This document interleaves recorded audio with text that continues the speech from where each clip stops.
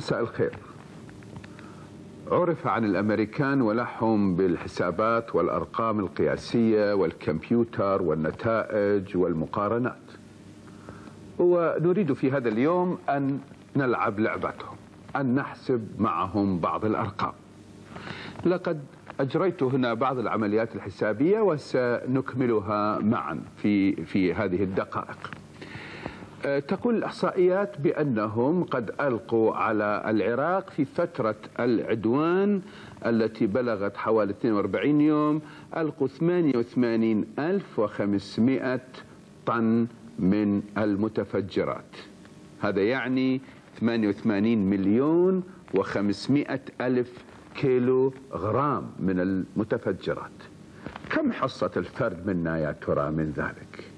لو قسمنا هذه ال 88 مليون ونصف مليون كيلو غرام من المتفجرات على الشعب العراقي الذي يبلغ 18 مليون نجد بأنه هنالك حصة للفرد ستبلغ 4 كيلو و9 عشر الكيلوغرام. يعني كل واحد من عندنا إلى حصة من الهدايا المتفجرة الأمريكية التي ألقيت على وطننا تبلغ حوالي الخمسة كيلو. لو وزعنا هذه على مساحة البلاد كم سقط على كل كيلومتر مربع؟ أيضا نأخذ 88 مليون ونصف المليون كيلوغرام ونقسم ذلك على مساحة العراق. يظهر لنا بأن سقط على كل كيلومتر مربع 199 وثلث الكيلوغرام يعني حوالي 200 كيلو غرام على كل كيلومتر مربع من مساحة البلد. فمن الناحية النظرية أنه لا توجد بقعة في العراق لم تسقط عليها متفجرات الأعداء. وفي هذا الخصوص تقول صحيفة نيويورك تايمز الأمريكية في تقرير لها من الظهران نشر في مثل هذا اليوم قبل سنة تقول أن عدد القنابل التي ألقيت على العراق يزيد على عدد القنابل التي استخدمت في الحرب العالمية الثانية. تضيف الجريدة بأن هذه الكمية من القنابل التي ألقيت على العراق والتي تزيد على ما ألقي في الحرب العالمية الثانية هي في السبعة عشر يوم الأولى من الحرب فقط. نكمل العملية الحسابية على الطريقة الأمريكية ونصل إلى أرقام قياسية أخرى. ستنشر في كتب الأرقام القياسية الأمريكية. عدد الطلعات تقول الإحصائية أن هنالك حوالي 110 آلاف طلعة جوية شنت على العراق في 42 يوم هي فترة العدوان أيام العدوان. يعني باليوم الواحد بلغت الطلعات معدل يومي 2619 غارة كل يوم 2619 تدرون يعني كم غارة بكل دقيقة؟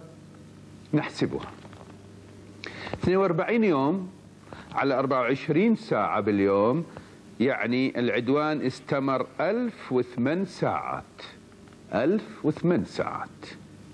هذا يعني أن لو قسمنا عدد الطلعات على الساعات يطلع أن كل ساعة كانت تنشن علينا 109 غارات. كل ساعة 109 غارات. بالدقيقة غارتين إلا شوية. يعني كل نص دقيقة كانت تشن غارة على العراق. وهذا أيضا رقم قياسي يسجل لصالح الرئيس بوش. The United States has no quarrel with the Iraqi people. ليلة 4 شباط قصف العدو منطقة سكنية حي الأندلس بالبصرة هدم أربع بيوت وأربعة أشخاص استشهدوا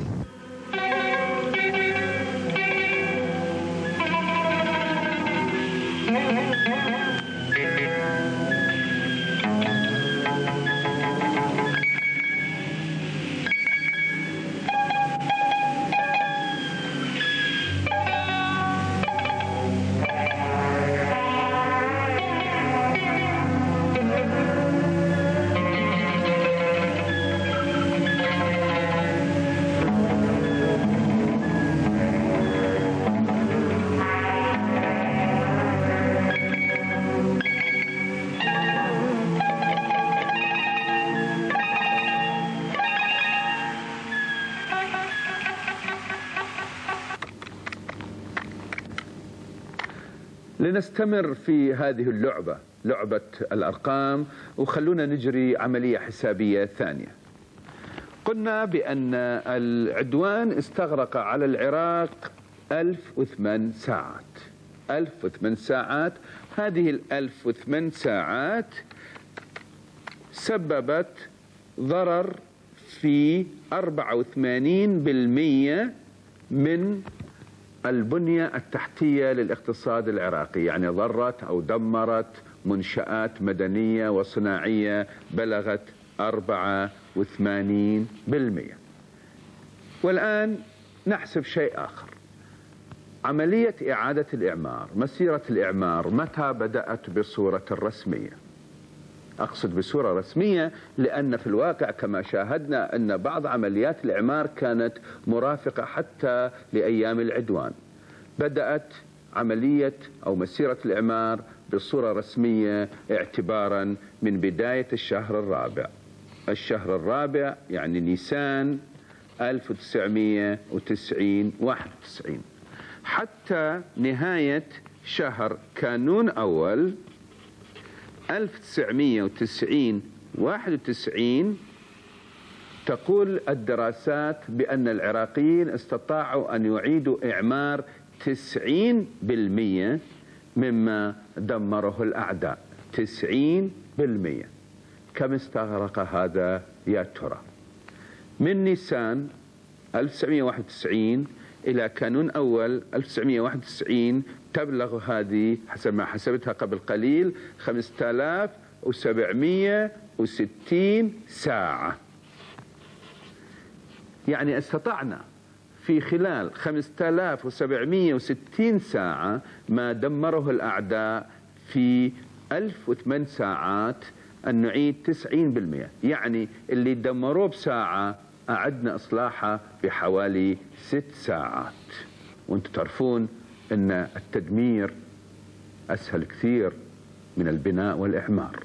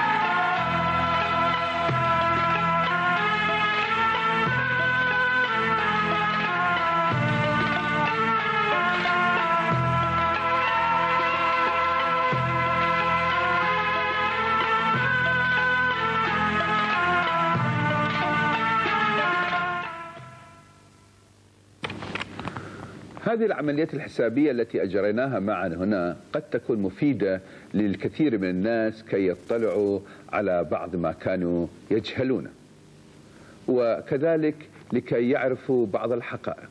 ومنها حجم المنشآت التي كانت موجودة في وطننا والتي أعاد العراقيون إعمارها من جديد. أو كما قال المعلق السياسي الأستاذ عبد الجبار محسن في مقاله آه، في هذا اليوم يقول لم يدهشني أحد زملائي في الإعلام عندما قال ونحن نناقش برنامج الملف بأنه فوجئ بعدد المشروعات التي أنجزناها خلال مسيرة الثورة. وأكثر مما فوجئ بحجم الدمار. وأجزم يقول الكاتب أن كثير من الناس قد فوجئوا بما في ذلك بعض المسؤولين. فإذا كنا لا نجيد الدعاية لأنفسنا فحسب أم المعارك أنها علمتنا بما شيدته لنا ثورتنا.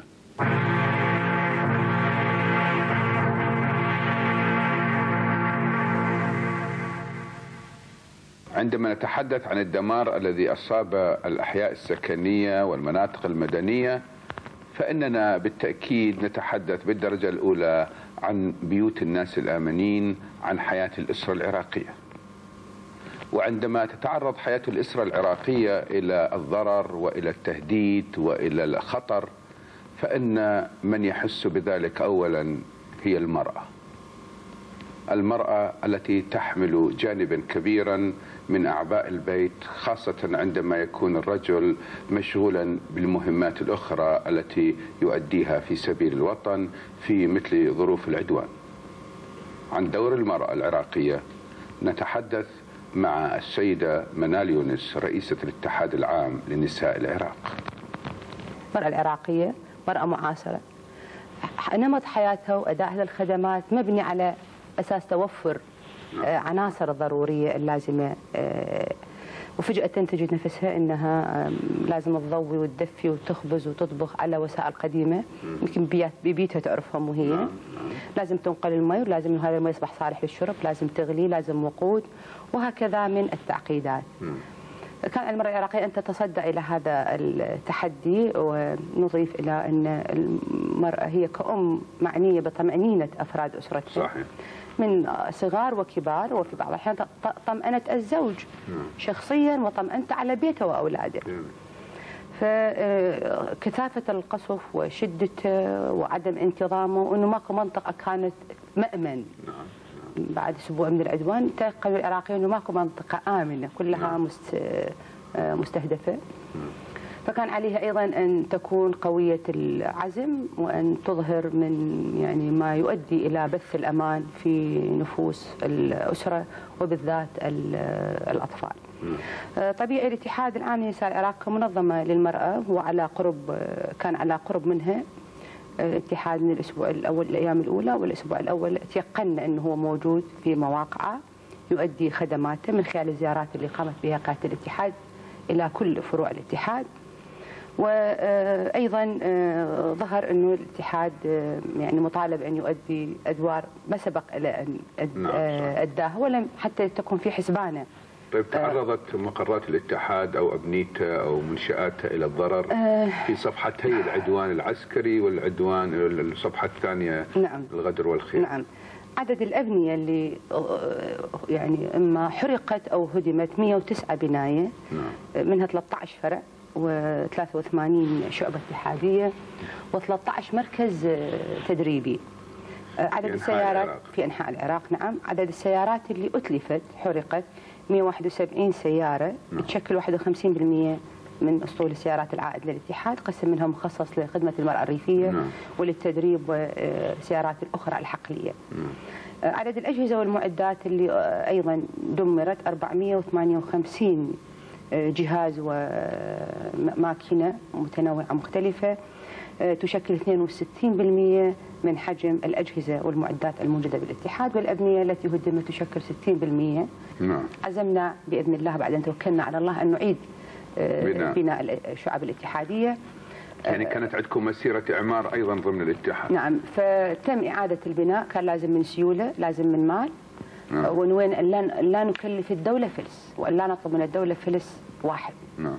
فاستطعنا أن نعيد البناء جميع هذه الوحدات التي دمرت بالتنفيذ المباشر عدا فرع البصرة أحيل إلى شركة المعتصم وفرع كربلاء أحيل إلى مقاول. أما باقي المقرات اللي كما بينت 109 مقر يعني 107 مقر تم تنفيذه مباشر من قبل رئيسة الفرع. هناك فروع مسحت شلون يعني تم تنفيذ هي هي راحت بنت ولا أشرفت ولا جابت. نسوان يشتغلوا آه ولا نعم شلون؟ أول شيء لازم تهيئ المواد نعم من يعني أبواب ما نقدر نحن نشتري خشب جديد فنروح ناخذ المستعمل اللي ينباع بنص عمر. نعم. أيضا عدد الكهربائية المطلوبة. بعد ذلك تقدر تشبه تتحصل على زجاج أو تحصل على الطابق والاسمنت وتعرف آنذاك كانت المسألة صعبة جدا. بشطارتها تحصل على المواد. بشطارتها تتصل تجيب المقاول اللي يبني ثم النجار ثم الكهربائي. وهكذا هي التي تهيئ وتشرف على عملية التنفيذ. وهذه الخبرة الأولى لقيادة الاتحاد في عملية الاعمار فوجئت الحقيقة وتفاجئنا بنفسنا إنه رفيقاتنا ممكن أن يكونوا مقاولات أيضا مو فقط آه، إدارة. أعمال إنشائية. نعم. نعود أم طيبة إلى معاناة المرأة العراقية في بتأثير العدوان وبتأثير الحصار. يعني أنا أعتقد من الجوانب المهمة التي عانت منها المرأة العراقية عمليات الولادة. نعم. الأوضاع في مستشفيات الولادة بسبب انقطاع الكهرباء بسبب شحة الأدوية هذا الجانب من نعم. الموضوع آه، اللي تو- اللي يجيها المخاض يمكن مولدة ما موجودة في المنطقة لازم صح. نوصلها إلى المستشفى. أيضا المستشفيات ما كانت في البداية تعتبر الولادة حالات طوارئ ما كانت تستقبل الولادات. فشبثنا من خلال القيادة إلى أن تعتبر الولادات حالات طوارئ. بدأ حتى يصير قبول النساء. آه، دم مثل ما تعرف آه، بنوك الدم أصيبت بالضرر نعم. لأنه كهرباء توقف فتعرض الدم إلى التلف كان لازم نسوي حملة مع الأجهزة المعنية وبالذات مع بنوك الدم العائدة للقوات المسلحة وحولنا كل وحدات الاتحاد إلى مراكز لجمع الدم نعم. بدينا نحرك كل المجتمع حتى يجي آه، يعني يتبرع آه، بالدم أيضا كان لازم نبث الطمأنينة بنفوس الناس من. خلال التواجد المستمر آه، للاتحاد في المناطق السكنية وبالذات المناطق ال- الشعبية. النتيجة حتى يكون هناك صمود واستمرار. الأزبال كانت تتكدس وكان لازم تنحرق هاي الأزبال أو تندفن، مشكلة حرقها كان صعب لأنه الفريزرات هي متفرغة بيها. نعم نعم. فكانت كلها رطبة. فلازم نحفر ويصير حفر ويصير دفن. هذا طبعا بالبداية كانت المشكلة ممكن السيطرة عليها. هاي كانت اتحادية وفروعها يسوونها؟ نعم واحدة من المهام. بالبداية كانت المشكلة مقدور عليها. بعد مرور أيام آه، يعني امتداد الفترة أصبح طبعا غير مقدور عليها لأنه أكثر وسعت من كبرت. كب- كبرت هذه المشكلة فإذا أقول أنه يعني الاتحاد حاول أن يسد أو يؤدي دوره لي يعني لي يسد أو يوفر جانب من صور الحياة المدنية ومتطلباتها طيب أنتم معروفين بمحاولاتكم الأولى كاتحاد وكنساء العراق ومع النساء العربيات حاولتوا كسر الحصار برحلة السلام رحلة ابن خلدون واللي تعرضت إلى القرصنة الأمريكية. وأنت شاهد عيان أنت كنت بالرحلة ما كنت مع معهم من بدايتها إلى نهايتها. فنريد يعني الآن نعطي إلى المشاهدين شيء ملخص عما جرى كيف واجهتوا العدوان المباشر عليكم؟ أنتم أول من التقيتوا بال- بالمعتدين الأمريكان وجها إلى وجه في سفينة أم خل...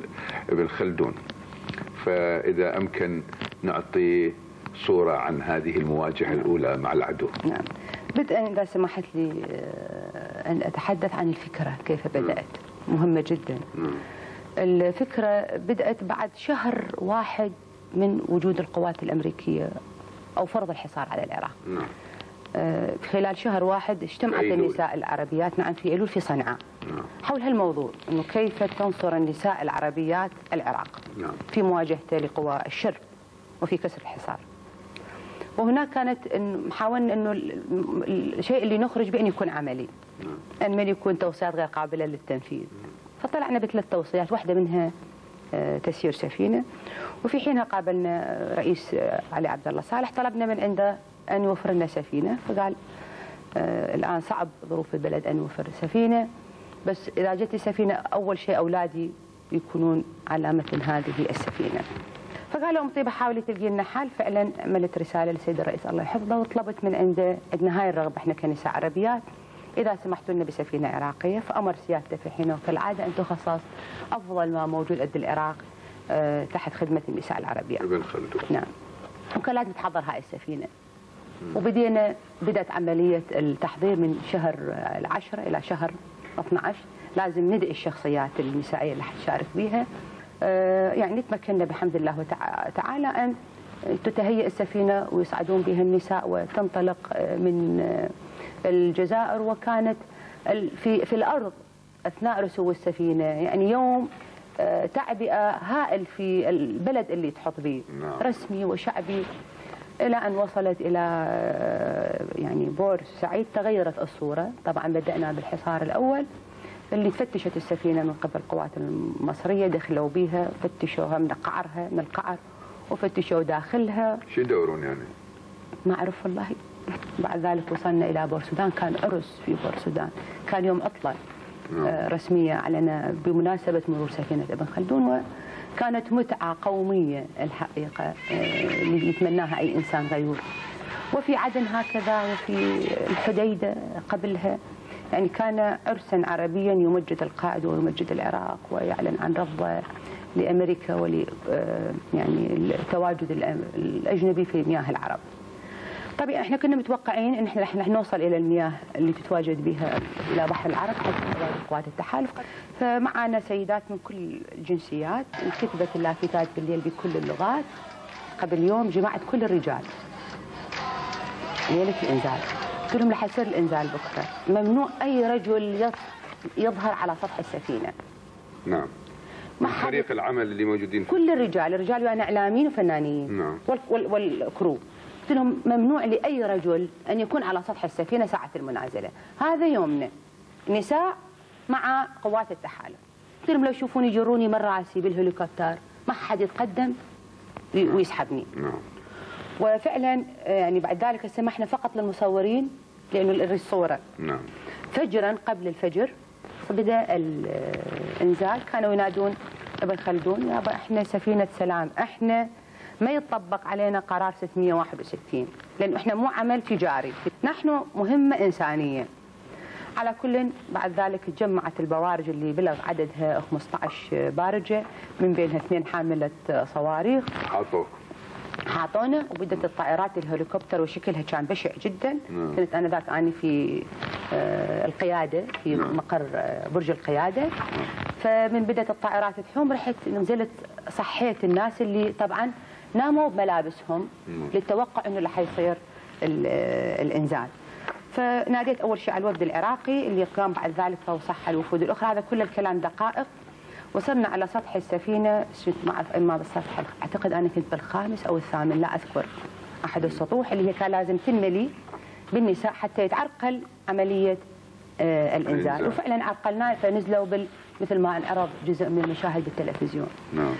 فكان المنظر مالهم مختارين ذولا يبدو جنود المارينز طوال وضخمين صابغين وجههم بدهان أسود عين حمراء مصبوغة عين زرقاء الحلق أبيض مع علج يمضغوه بطريقة بشعة. نعم. ويصدرون أصوات مثل الخنازير. فصار نوع من الر... ال- يعني الرجفه أو الرد آه، مفاجئه فكان لازم ننفذ الخطة. نعم. الخطة هي منعهم من الوصول إلى برج القيادة أو إلى غرفة الراديو. عرقلت وصولهم. عندنا إحنا درجات على السطح وعندنا ابواب تدخل على السفينة. نعم. فوجدت نفسي لأول مرة إنه أمسك أحد الدرجات. وبدات عملية الضرب آه، بمختلف الأشكال والقنابل المسيله على الدموع في محاولة أن يشلعون من الدرج. بعد ذلك يبدو تعاونوا علي اثنين منهم. ورموني أخذت أخت أخرى مكان اللي هي الأخت ناصره سعدون وثم أخرى وأخرى. وهكذا كانت النساء العراق باجسادهم يحولون دون آه، السيطرة على السفينة. بعد ذلك تمكنوا بعد ساعتين الا ربع تمكنوا من السيطرة على السفينة. آه، سيطروا عليها قطعوا الت- التهوية قطعوا النور عنها. ثم بدأت طبعا تصير حالات آه، اختناق وربو. بلغت الإصابات أثناء ساعتين إلا ربع الصدام المباشر المضارب بيننا وبينهم. آه، 75 إصابة. بعد الخنقة داخل السفينة صار الكل مصاب بحالة الاختناق. نعم. بدأ التفاوض بيننا وبين قائد قوات الإنزال اللي أبدأ أول شيء أسفه أنه هيك سووا يابا قلت لهم أنتم ما لقيتوا شيء؟ يعني الآن ورا ما تاكدت كانت معي آه، السيده أم ناصر والسيدة في ويليامز من الولايات المتحدة الأمريكية إنه أنتم الآن تيقنتوا ماكو شيء بالسفينه ممنوع أطلقوها تسير. نعم. آه، قالوا أنتم عندكم ثلاث خيارات اللي سبق وأن قيلت. آه، قلنا إحنا اسرى فلا خيار لنا. إحنا خيارنا البصرة. ونحن الآن اسرى فاختاروا لنا ميناء قالوا بعد ثمان ساعات نختار لكم الميناء الإنزال يوم 26 إلى يوم 4 واحد استمر ثلاث من ساعات. كانوا يراوغون. خلص كل شيء عندنا. خلص المي الصالح للشرب ونشرب مي مخصص للغسيل. دواء ماكو.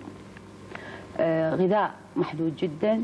احتياجات الأطفال محدودة جدا. وبدأت عندنا تتأزم حالات المرضى. خصوصا كبار السن. اضطرينا نسلم سيدة يابانية عمرها 75 سنة بروفيسورة في القوات حتى ننقذ حياتها وسيدة سويدية أيضا أصيبت بجلطة قلبية وتيبس أيضا اضطرينا نسلمها. طبعا ورا ما نطلب نجدة منهم بيومين يلا يجون يستلمون المريض. يصل إلى حافة الموت. طبعا خلال هاي الفترة فترة الحصار قمنا بعمل سياسي من داخل السفينة. مناسبة أقول إنه كان عندنا تليفون واحد. نشغله تليفون نشغله تلكس. ومشغله محطه اتصال مع أم قصر. ثلاثة استخدامات ما كانت عندنا جفره حتى نتصل ناخذ توجيهات. اتصالاتنا كانت آه، مكشوفة. آه، كان آه، يعني لابد من تحرك سياسي وفعلا اتصلنا وارسلنا لكل المنظمات الانسانيه حقوق إنسان وصليب أحمر. حتى جمعيات الدفاع ربما عن حقوق الكلاب. يعني ما خلينا مؤسسة ما ناشدناها لم يجيبنا أحد. أقمنا شكوى على الحكومة الأمريكية كلفنا من السفينة ال- وزير الدفاع السابق الأمريكي رمزي كلارك قدم أول شيء شكوى لدى محكمة العدل, العدل الدولي. قالت إحنا مو محل نظر في هذه الشكوى ثم اشتكينا عند آه، الإدارة الأمريكية. وأنتم على ظهر السفينة. وإحنا على ظهر السفينة. عن طريقة الهاتف. نتصل نعم عن طريق الهاتف. نتصل لنقيم الشكوى إنه إحنا لا يطبق علينا قرار 661 فتشتوا السفينة كل شيء ما لقيتوا بيها ممنوع. نعم. شنو مبرر حصرتنا؟ قلتوا لنا بعد ثمان ساعات نقول لكم ما نقلتونا نعم. إحنا حالتنا هكذا. فاجانا قبل ما يسمحونا بال يعني قبل يوم أربعة الخبر من الإدارة الأمريكية أنه قرار 4 تشيني 12 أربعة آه واحد. 4 1 أربعة واحد 91 نعم. يعني يجوز يوم ثلاثة أو اثنين واحد. اجى الخبر من أنه تشيني دز رسالة جواب الإدارة الأم- الأمريكية آه، أنه لا ليس أمام السفينة إلا أن تعود من حيث أتت. آه، يوم أربعة قالوا يلا توجهوا للمصيرة حصل آه، من المصيرة إلى ميناء قابوس حصلنا لكم موافقة. نعم. طيب مشينا. يوم أربعة وصلنا ظهر اليوم جمعة. أنتوا منو؟ شنو جايين؟ يابا إحنا بن خلدون قلتوا لنا تعالوا. القوات طبعا ويانا تمشي. البارجات والط- والطائرات. هاي اللي هي طول هذا الوقت هي تحوم حولنا وتصورنا. يعني ما اعرف إيش قصر فوق كم مليار على حصار. هذه آه، نعم، السفينة. نعم المهم بعد ذلك يابا لاغراض اتصلت بالسفير. السفير العراقي اتصل لي بالسفراء العرب اللي عندهم يعني ناس يمثلون في عمان. في عمان. وفعلا السيد السفير والسفراء العرب توسطوا وبقونا انطونا رصيف نرسي عليه نرسي عليه. فرسينا من الوحدة ظهرا إلى الوحدة مساء. قالوا تتركون. قدرنا نتزود بالمي وقليل من الأدوية وبعض الغذاء لأنه الناس قام تصير لها حساسية لا خضرة ولا ألبان. فاللي قدرنا نوفره من المواد الغذائية ورجعنا مرة أخرى انسحبنا وانتركنا في بحر أرض البحر نواصل اتصالاتنا السياسية مع الحكومة العمانية ومع الأمم المتحدة. نعم فبدت بدأ يوم 15 يقرب وبدأ الإعلام يشتد الناس بالسفينة تسمع نعم ولم يكن الوصول من يعني الخليج العربي سهل لأن كانت منطقة ملغومة وكنا نمشي بعون الله وتعالى وهادين القرآن الكريم. آه، غالبية من رسول السلام ختموا القرآن كاملا وهناك من ختم عدة مرات. أنا شخصيا اتيح لي ان اختمه مرة واحدة آه، فقط رافقني آه، وكنت كل ما نمر بضيقة واختناق أفتح القرآن الكريم وأقرأ لي وللكابتن أو للأخت أم ناصر نقول لهم لنستشير القرآن الكريم ماذا يقول لنا الرب؟ نعم. فكان دائما آه، كلام الله أن آه، أنتم ناجين فكان هو المرشد وهو المعين وهو المقوي. كانت يومين حلقات ختم القرآن حلقة في السفينة يختم أجزاء. آه، نجينا وعدنا بحمد الله آه، سالمين. طول الوقت بالسفينة كنت لازم أتخذ قرارات أنا الوفد العراقي. فكنت أقول لهم إحنا الآن إحنا صدام حسين. نعم. نفكر بطريقة التي يفكر بها ونتخذ القرار بذات الشجاعة التي يتخذ بها صدام حسين جميل. القرار. لأن ما عندنا إحنا أي اتصال. جميل. فكنا متحملين مسؤولية اتخاذ القرارات. متى و- وصلت من البصرة؟ أي يوم وصلنا كان؟ آه، يوم مساء يوم 14 يعني يومين قبل بداية العدوان وصلنا إلى. بغداد آه، صباح يوم 15 نعم إلى بغداد و16 على 17 بدأت الحرب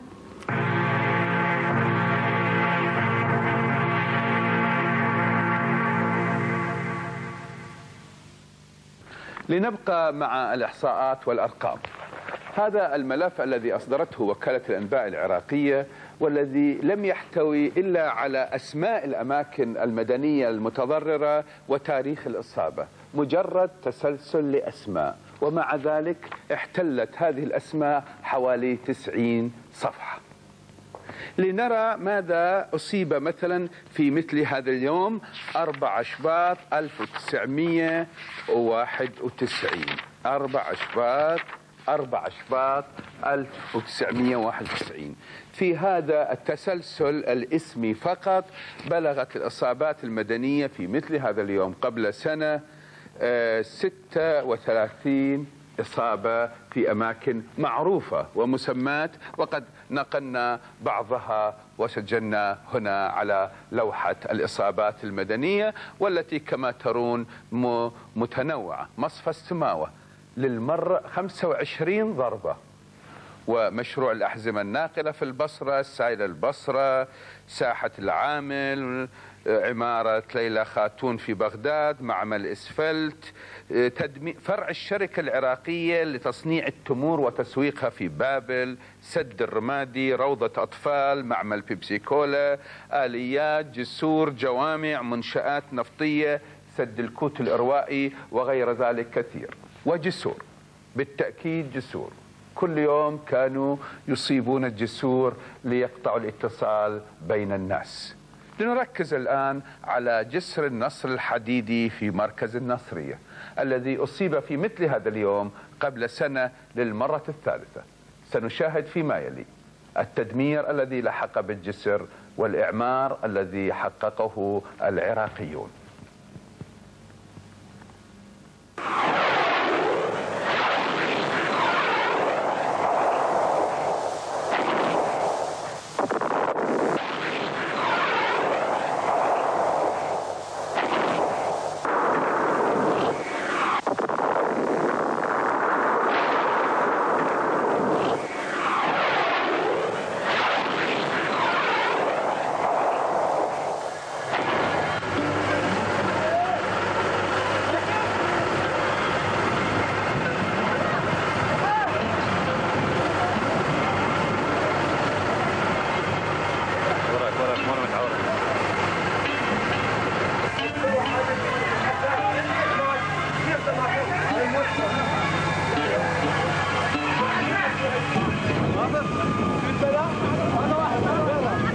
في يوم 4 4 2 الساعة الثالثة 4 2 الساعة 3 الظهر. جاءت جاءت الطائرات الأمريكية المعادية آه، وقصفت الجسر اللي جسر النصر في محافظة الناصرية. وكان على الجسر بحدود 500 واحد إلى 600 واحد. فجل ضربت الصواريخ بالجسر فأغلب الناس توفت وبال وداخل الشط صارت نستنكر هذا العمل الإجرامي اللي قامت به الطائرات الإمريكية والصهيونية في 4 2 بضرب منشآت مدنية وحدث جسور والجراجات المدنية.